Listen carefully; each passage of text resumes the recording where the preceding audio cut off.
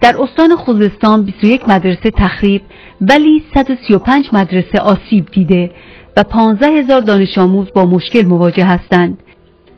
یک نمونه از این مدارس در پل دختر است که همانطور که می‌بینید رژیم آخوندی هیچ کاری برای آنها انجام نداده ولی به کمک یکی از معلمان و مردم شریف پل دختر از گل تخلیه شده است.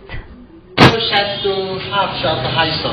تا اینجا ارتفاع آب بوده. ارتفاع آب بوده در اینجا ببین حتی آب بوده. آب که گل بوده. آها. گل مونده اینو با بافت و